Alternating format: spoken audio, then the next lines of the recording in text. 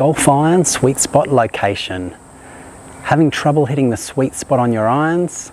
In this next video, I'm going to show you how to hit the sweet spot in your irons and a simple drill to make it happen quickly. I'll see you soon.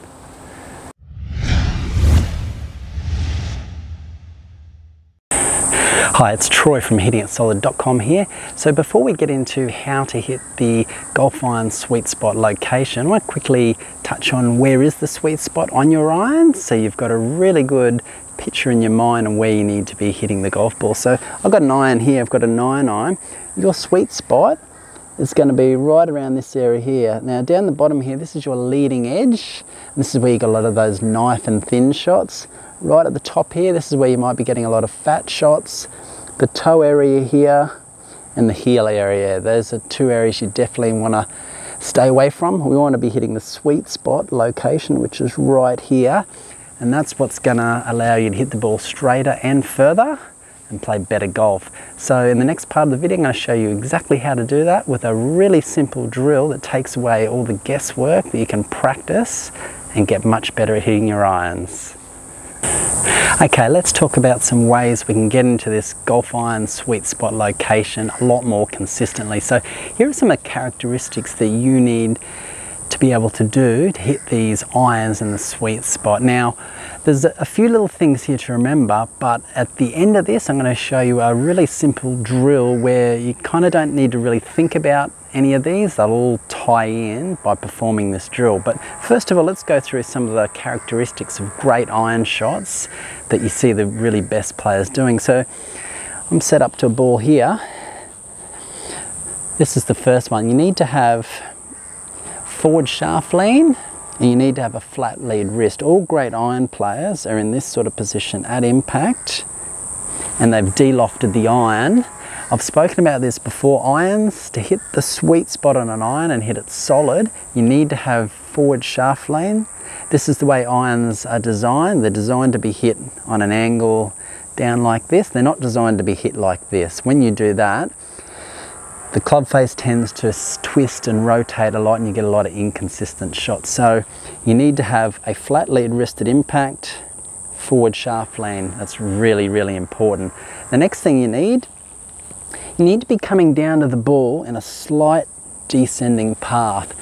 In other words, you don't want to be coming down like this and trying to lift the ball into there. Irons are designed to be hit on a slight descending path that way you get that forward shaft lean and you're actually de-lofting the iron. So if, if an iron is say 30 degrees, when you're at impact, you want to be getting down to say maybe 25 degrees with your loft.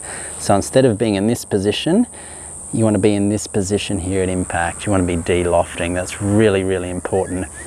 The next thing you want to be doing is you want to be hitting, and this will usually happen as a result of doing those first two things right. You want to be taking a divot after the golf ball. So where a lot of golfers go wrong is they they're set up to ball here, they'll be taking a divot somewhere back here somewhere, then hitting the golf ball.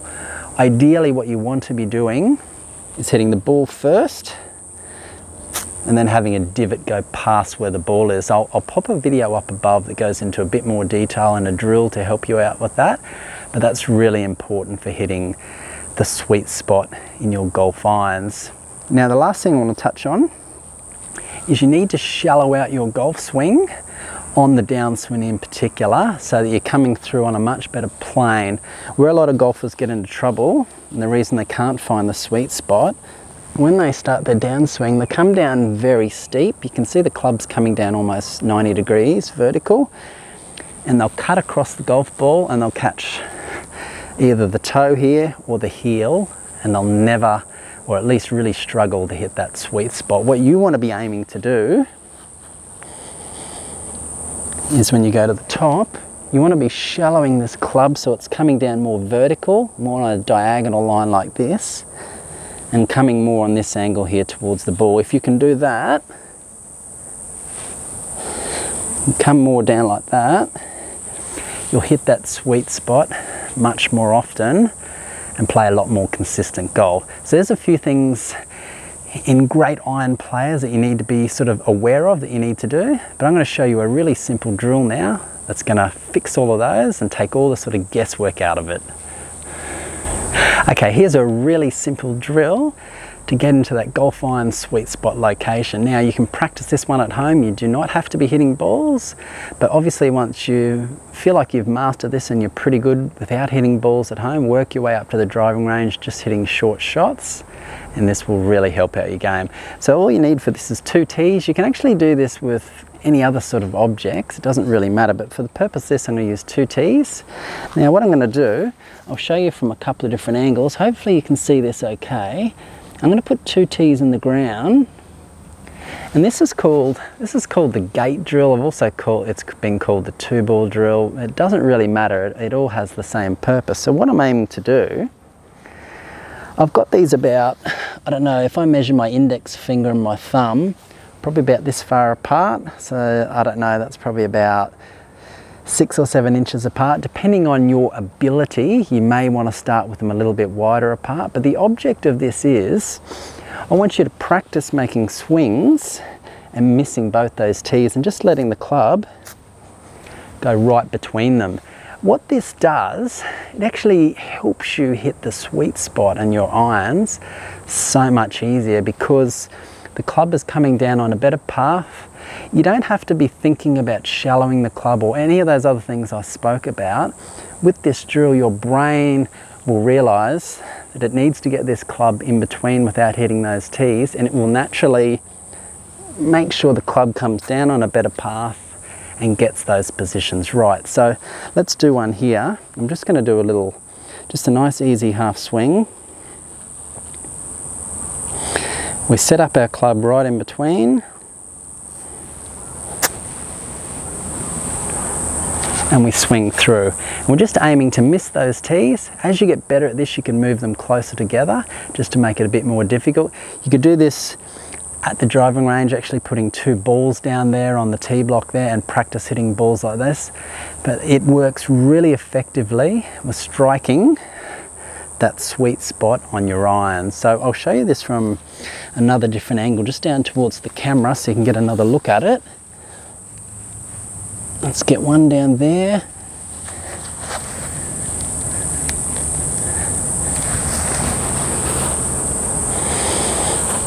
Just do a nice easy one.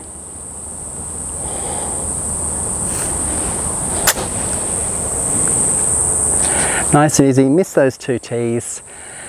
If there was a ball there, there's a very good chance I was going to catch that right in the sweet spot.